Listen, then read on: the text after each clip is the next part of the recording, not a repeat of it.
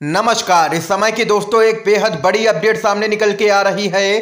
राहुल गांधी को लेकर के कोर्ट से। जी हाँ दोस्तों, आप लोगों को बताते चले, राहुल गांधी ने हाई कोर्ट में याचिका दायर की है और राहत की मांग की है। इस बीच यहाँ पर उनके वकीलों की तरफ़ से लेटेस्ट अपडेट आई है। क्या कुछ है पूरी खबर विस्तार से बताएँगे।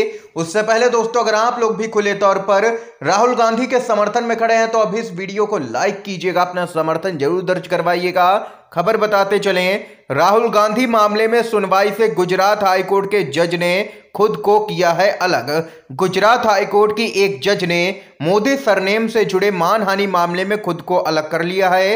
राहुल गांधी ने मानहानि के मामले में अपनी सजा पर रोक लगाने के लिए गुजरात हाईकोर्ट का दरवाज़ा खटखटाया है। इस संबंध में याचिका दायर की गई है। इससे कुछ दिन पहले सूरत के सेशन कोर्ट ने पिछले महीने निचली अदालत के द्वारा दी गई दो साल की कैद की सजा के खिलाफ उनकी अपील खारिज कर दी थी।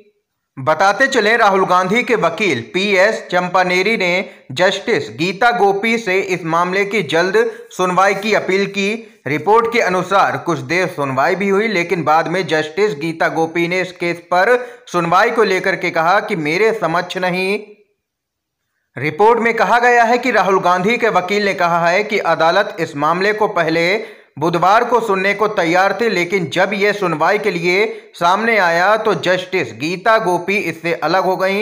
ये यहाँ पर दोस्तों देख सकते हैं कि राहुल गांधी के मामले को लेकर के जज ने खुद को अलग कर लिया है। केस से समय की बड़ी खबर थी।